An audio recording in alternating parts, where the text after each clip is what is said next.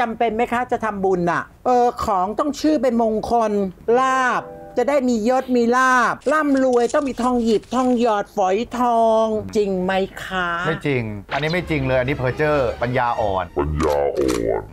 เออพระพุทธเจ้าตรัสเรื่องมงคลเนี่ยคือการกระทำทางกายวาจาใจ อันเนี้ยเรียกมงคล แต่ที่พูดมาเนี่ยไม่มงคลมันเป็นแค่ชื่อ แล้วถ้าอาจารย์ถามว่ากระโถนเนี่ยจะเปลี่ยนชื่อกระโถนใหม่เป็นยิ่งอะไรดีเอายิ่ง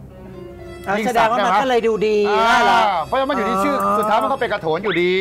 ตะหลิวตะหลิวนะเตรียมตัวแล้วนะจะสู้ค่ะแล้วนะเกิดอะไรขึ้นเดียนคงต้องปกป้องตัวเองนะคะ ยังไง FC ช่วยกันเป็นพยานนะคะเดียนต้องสู้ค่ะ